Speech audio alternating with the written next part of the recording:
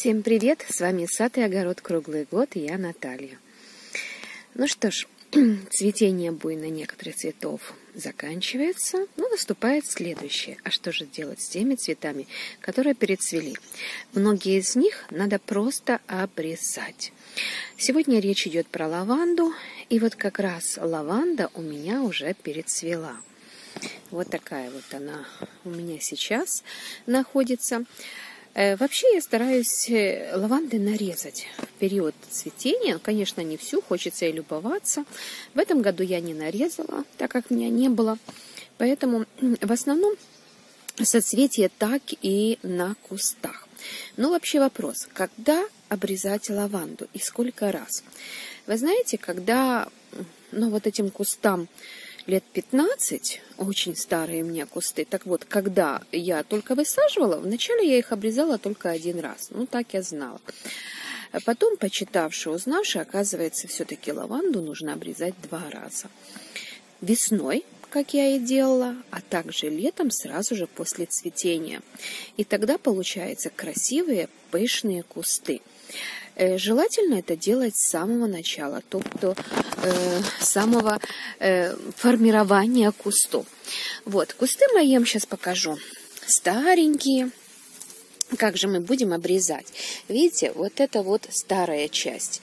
Э, конечно, срезать всю молодую поросль нельзя. Просто э, нужно оставлять на то есть не можно срезать так, чтобы осталась только старая часть. Нужно обрезать так, чтобы были еще молодые побеги.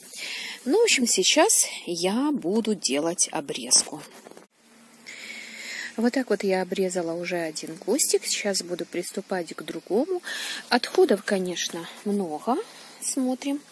Вот что у меня тут получилось. Значит, обрезаю вот такие вот зеленые побеги, да, свежие, но если где-то что-то свисает, где-то какая-то веточка э, некрасивая, то есть тоже я ее сразу обрезаю. Вот тут особенно снизу.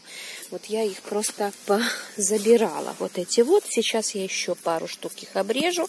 Вот эти вот ветки сухие нужно все пообрезать.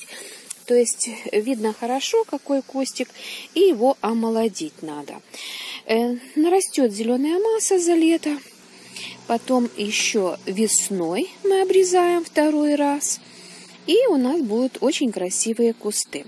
Но что я обычно делаю после обрезки? Вернее, что-то до обрезки, а что-то после.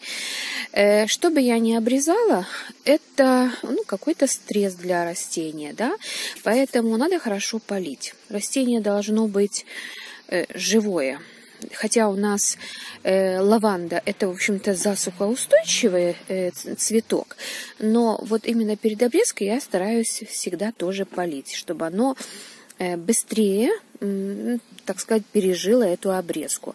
Ну и желательно, конечно, подкормить. Подкармливаем минеральными удобрениями, Опять-таки, хотя лаванда довольно-таки нетребовательна, но вот именно после обрезки я стараюсь подкормить э, фосфорно-калийными удобрениями уже, потому что это вторая половина лета. Ну что ж, лаванда шикарный цветок, является украшением, бордюром, может быть, вот как у меня в данном случае. Э, даже можно черенковать, кстати. Вот, вот если у нас такие вот молоденькие, можно попробовать и начеренковать. Но летом как так не всегда получается у меня, я люблю больше весной черенковать. Ну что ж, с вами была Наталья, желаю вам всего наилучшего. Заводим лаванду, любуемся ее красотой и обалденным запахом. Всем пока!